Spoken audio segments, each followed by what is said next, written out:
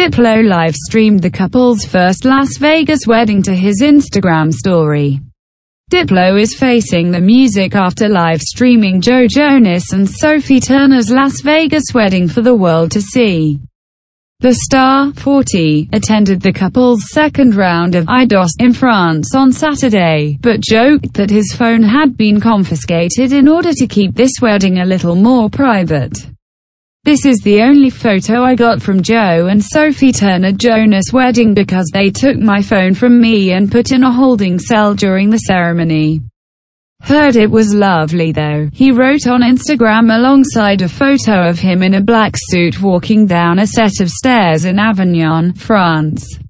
On May 1, Diplo let the world know that Jonas, 29, and Turner, 23, were married in a chapel wedding immediately following the 2019 Billboard Music Awards, thanks to a live stream video that documented everything from her walk down the aisle to their vows. Diplo said earlier this month he only recorded the night's festivities because he had no idea the wedding was the real deal. I didn't know it was a serious wedding. I really didn't know what was going on, he said during an interview with On Air with Ryan Seacrest.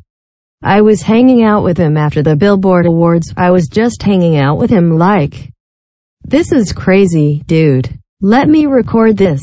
While Jonas and Turner have both said they found the live stream funny and it's clear there are no hard feelings.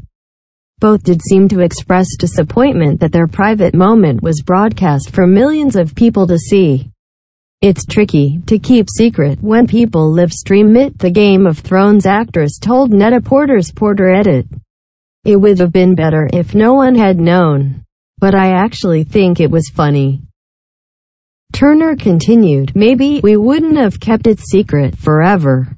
I think at some point I would have had to stop saying fiance, but yes, I would have kept it a secret. Marriage is a private thing between two people and I think that's how it should always be. It's not about the dress, it's not about the food. It's about being husband and wife. And being dedicated to each other forever. Jonas, meanwhile, joked that Diplo's video ruined the wedding. I love Diplo, but he loves his gram more than a 13-year-old.